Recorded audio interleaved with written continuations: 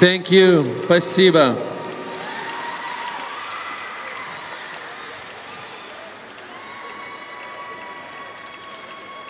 And uh, we continue to the next gymnast from